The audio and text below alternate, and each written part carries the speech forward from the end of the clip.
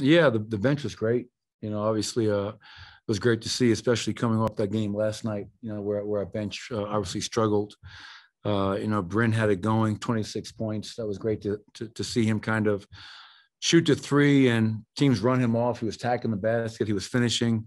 Uh, after D Reed, I mean, 13, 7, and 4. Uh, and every time that kid gets a chance to play, he goes out there and uh, and plays at a high level. Uh, you know, Bones, 10 and 7 as well.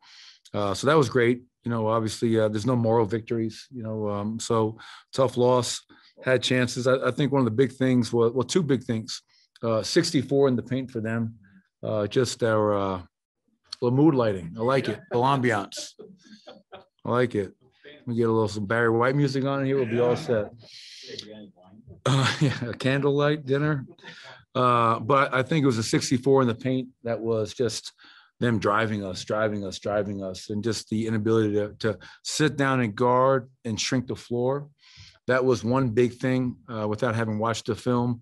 Uh, and the second was second half. You know, we had 11 turnovers for 16 points close game on the road, undermanned. You know, those are just so valuable. You know, those possessions that you're not getting a shot off. You know, um, so you know the effort was there. A lot of guys stepped up and made good plays, but you know uh, the the paint and the turnovers were, uh, in my opinion, the deciding factor.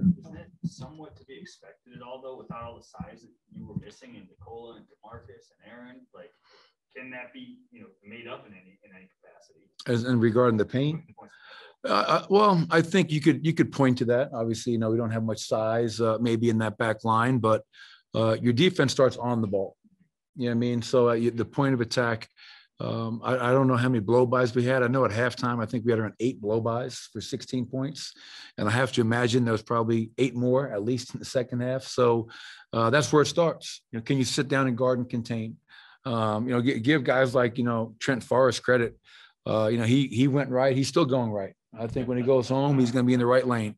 And we let him go right all night long. Uh, and so that's where you have to um, just be a little bit more locked into who am I guarding? What are his tendencies and try to take that away. So, um, yeah, size would help, but I, I think you got to sit down and guard. How much is it people in unfamiliar positions, time of game, usually they may not be in there at the end? How much of that was? Yeah, I mean, and that's why it was a great experience. I mean, like, you know, I know we lost the game, but I am proud of our guys uh, competed, gave ourselves a chance to really undermanned teams. But um, I think it's a valid point. You, you got guys out there that you know, you know, may may not be there in most situations. And what a great, you know, telling a teaching experience is the best teacher. And for Zeke, for Davon Reed, for Bryn Forbes, those guys being out there to close the game, that's, you know, uh, it was positive. And then there's also a lot of learning clips and, and possessions that they can get better at next time they're in that situation you mentioned Zeke. How much of a luxury is it to have a big that can defend guards the way that he did tonight? There are a couple of just unreal possessions. Yeah, and today in today's NBA, Katie, as you know, it's uh, it, it's so important to have that defensive versatility. Uh, a, a, big guy that can switch. I mean, it, it was a small ball battle royale out there, and to have a guy like Zeke who can switch on to a Mike Conley, to a Bogdanovich, to whoever it is, uh, and really sit down and guard not just the first move, but the second move and then contest and get a block. Uh, and, and that's where I think Zeke's value, um, his ability to defend, his ability to rebound, and his ability to make open threes. Only a second year player. Um, disappointing he's not in that rising stars game. I think he's a rising star, and uh, and that's all that matters. He's improving in front of all of our eyes. And then JaMychal Green tonight, especially within that second unit, not all of his contributions showed up on the, the stat sheet, but what did you think of what he brought? Well, I mean, eight, five rebounds, two steals, aggression, physicality, toughness. Uh, we blitzed Mike Conley's pick and rolls a few times, and, and uh, he had a couple of steals, strips, and deflections on those.